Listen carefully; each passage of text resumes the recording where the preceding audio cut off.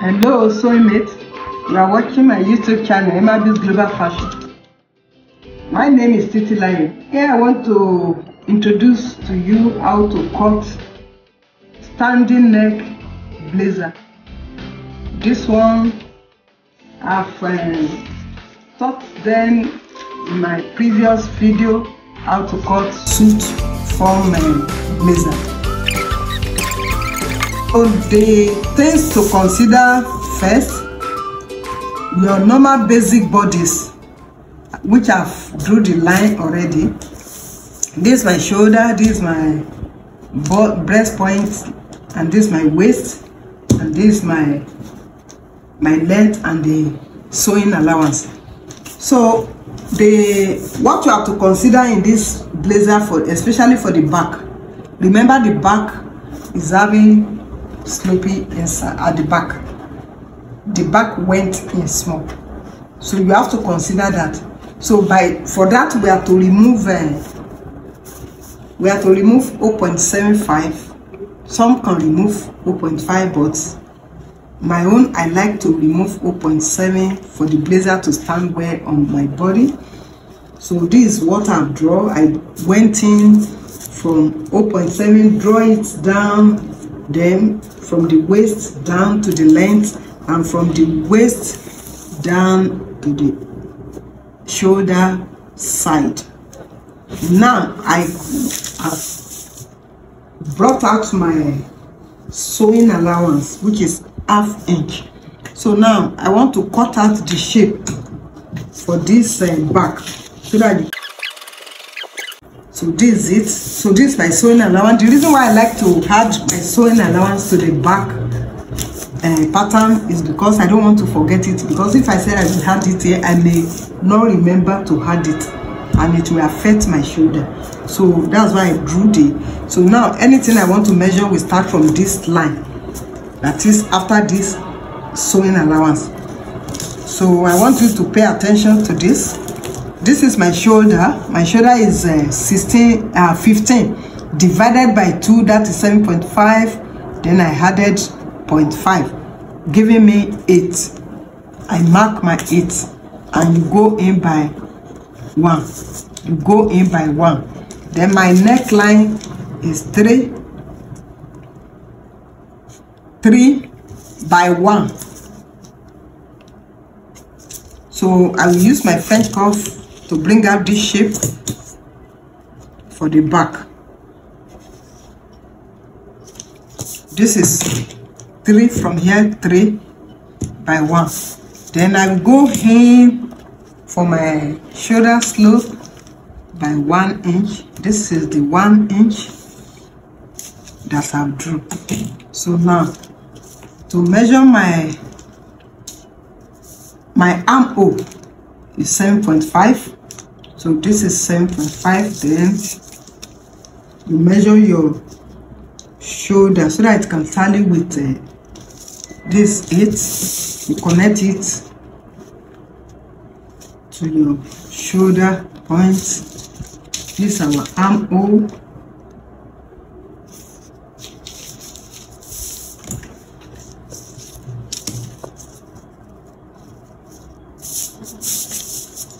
so this is our armhole so now you have to get the you have to measure the the measurement of the armhole from the slanty of your slopey of the shoulder which is 7.5 7.5 divided by 2 it will give you 3 3 quarter. Then you go in by half.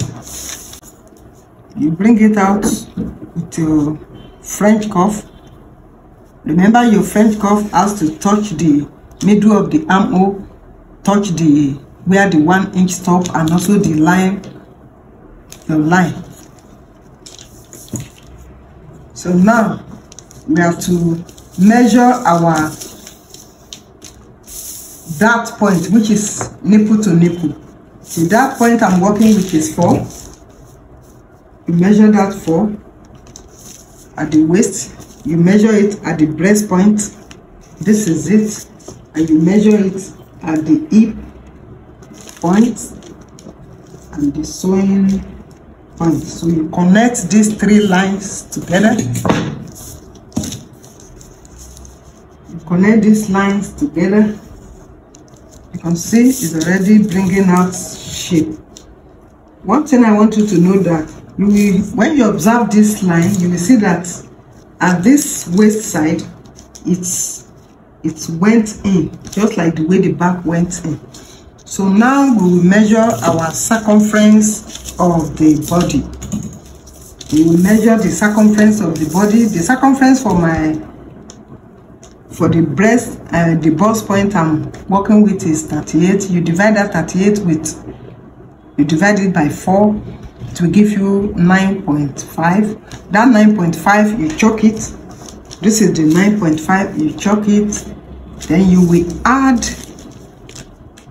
2 inch to it. This is the 2 inch. Then you come down to the waist. The waist is 36 you divide it by you divide the waist to 36 that is the 36 divided by 4 it will give you 9 that's the 9 i'm chalking here. Then here you have to add 2.5 2.5 i will tell you reason why i'm adding that 2.5 then you come down to the hip line here. The hip i'm working with is 10 and 41 which is you divide it by 4 it will give you 10 and quarter. So you mark that 10 and quarter then you add 2 inches to this. This is the 2 inch you're working with so now you connect those lines we are talking about this is the this is the body measurement. And this is the allowance for sewing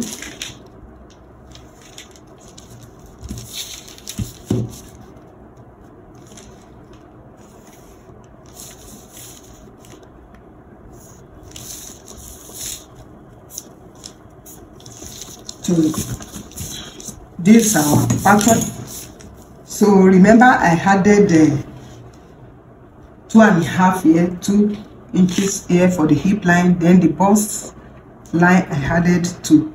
So now we have to remove the half inch from the half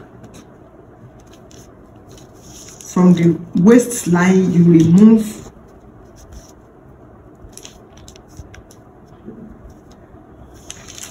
Your darts you cut out this one. You remove from here four inch. Then from the waist up you remove five. This is it. You remove five. So you mark it. So this one we are cutting it out. That is why the we are adding uh, 2.5 to the waist so by the time you had you cut it out it will bring out the shape now we have to connect remember you have to connect this breast point to the armhole.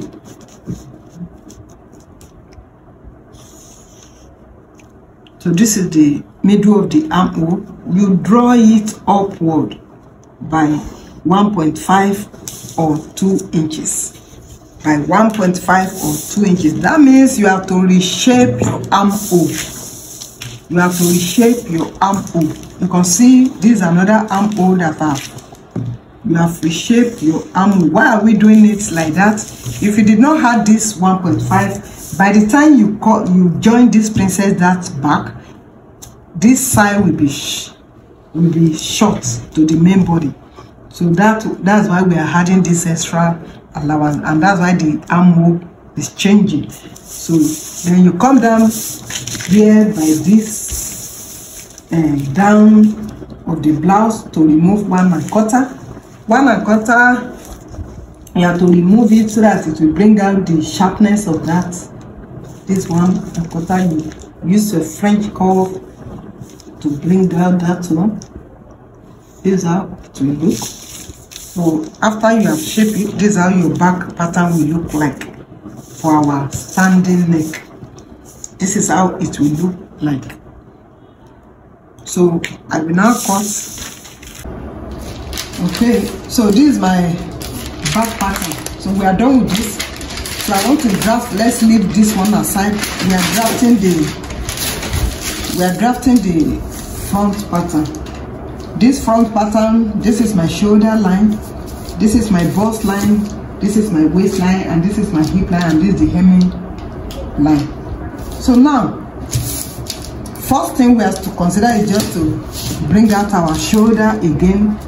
Remember i told you that the shoulder i'm working with is uh, 15 divided by 2 it gave me 7.5 that 7.5 you had sewing allowance of half inch which will make it to be 8 this is the 8 then remember you have to go in by 1.5 for the front pattern. For the front pattern you have to go in by 1.5 then remember i use the neckline i used for the back pattern was three by one. So this one you will use three.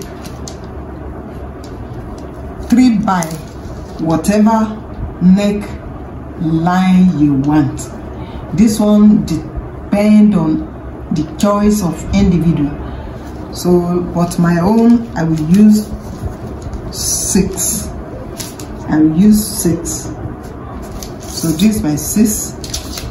So then I will use this so now let me chalk my the sloping of my shoulder to the three to the line I mean to the where the neckline stop this is it. And this tie I want to use uh, sweetheart neck. So this is you know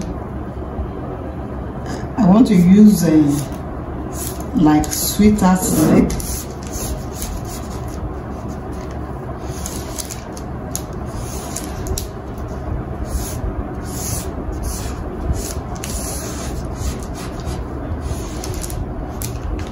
I don't want it to be deep. If you want it wider than this you can use it.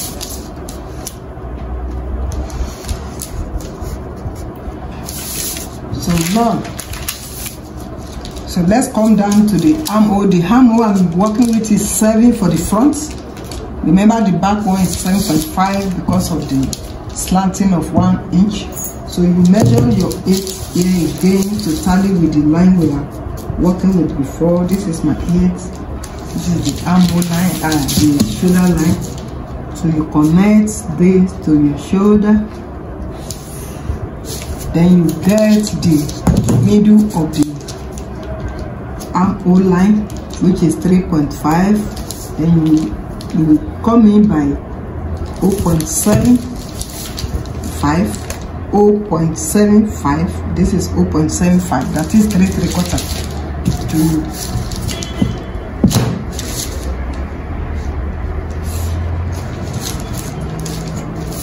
we have to use our French curve to bring out the shape.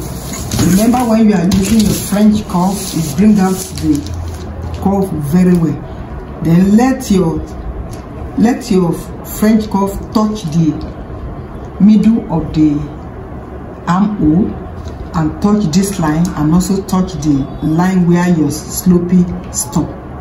So this is how will do. So this is our armhole for the front. So now we have to get our that princess that uh, line. And for us to get that uh, princess that line we have to use our nipple to nipple. Nipple to nipple is 7.5 plus half inch. It will give you four. So this is my four which I chop here. You chop it at the hip line down here. Then you chop it at the breast point line here. Then you connect.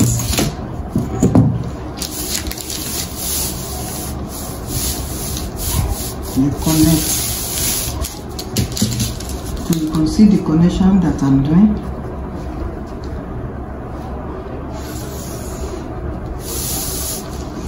remember that we are doing pre-sense that. So you have to connect this to your middle of the armhole and this is it. Look at the way I'm connecting it. Remember that this armhole you have to go in by two. And then go out by two. If not if you stop it here when you want to join the princess it will be very short. So this is the additional tool that we're adding to it. That means you have to reshape your armhole when you reshape the armhole it will form like this. It will form like this. You have to do it so that it won't bring confusion to you. So this you have set and this sharpness there you have to use a french curve to erase it. There must not be sharpness in any princess we are cutting. So now we have to measure the circumference of our body measurement. Here i'm working with bust 38 and i divide it by 4 it gives me 9.5 9.5 is what i'm chopping see it here 9.5 then you have to add one inch for sewing and one inch to join this princess back. So i'm adding one inch another one inch for sewing allowance. So this has to be. Then you come down to the waistline. So the waistline that i'm working with here is uh, 36 divided by 4 it will give you it will give me 9 that's the 9 i marked here.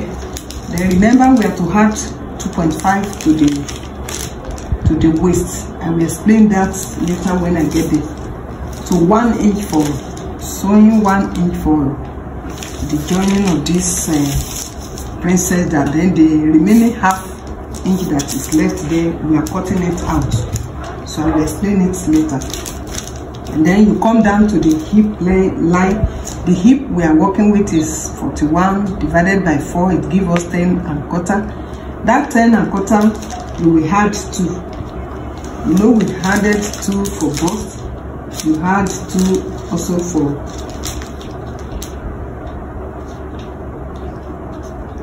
you add 2 also for the hip so you connect this line together.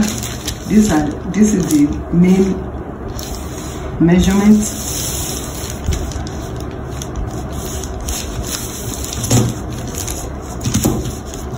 This is the main measurement. Then that I'm connecting and this is the allowance we are adding to it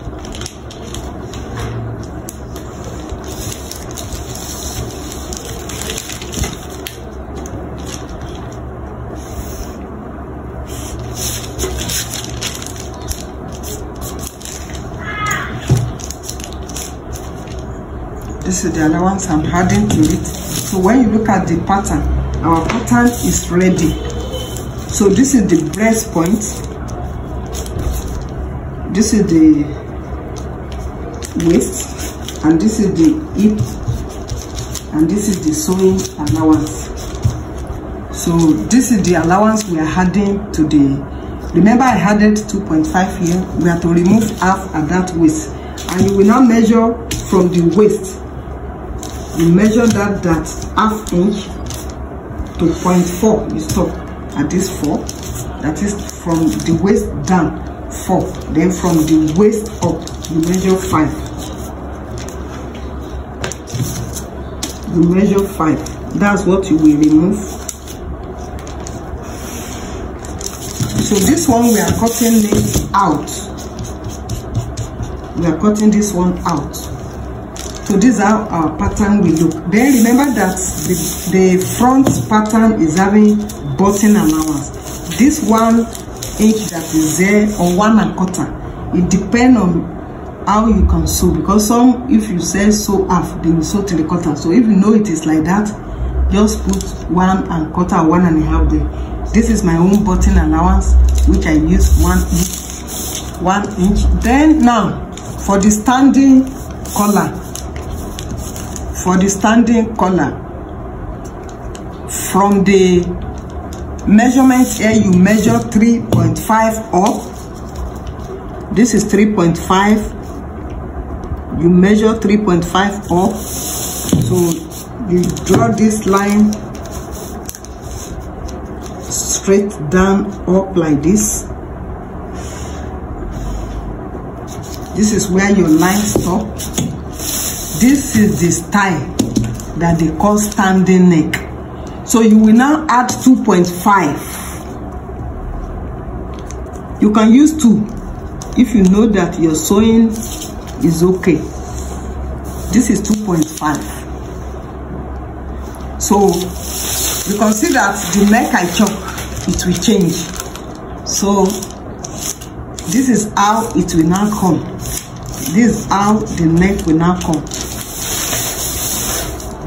so this is our standing neck this one represents the standing neck this is the one that you will now use to connect with the back. So that's why it's called standing neck the difference is just you go up by 3.5 here is 3 from here is 3.5 and be this one is 2 from here to this place is 2.5 while from here is 3.5 inch so this one is 2.5 each. This one is 2.5 that is the gap between here and here is 2.5 while the gap here from here up is 3.5 so this is how our standing neck be and let me now cut it out. This is how our pattern will look. This is how our pattern standing collar will look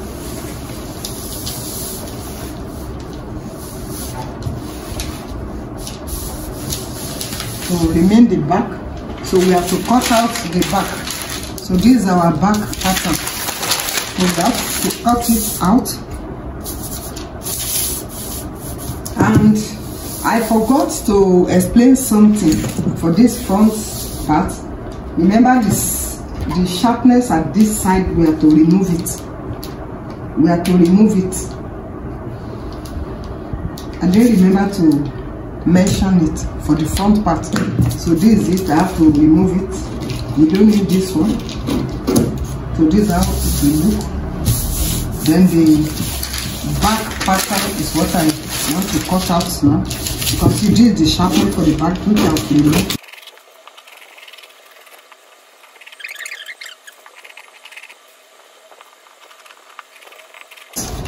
so this is the is how your back will look like after cutting it this is how your back will look like. And this is how your front will look like. This is the breast point. This is the waist and this is the hip line. So this is center back. This is our center front. From that side you have to label it so that you need to indicate side back. So that your pencil that side comes so after you have done this you now transfer this to your fabric. I hope if this uh, video is helpful try to subscribe like and comment. Thanks for watching Emabiz Global